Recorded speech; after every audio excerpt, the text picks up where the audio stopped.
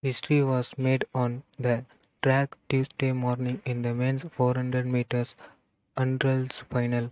Norway's Karsten Warholm took gold, setting a world record of 45.94 and breaking the 46-second mark for the first time.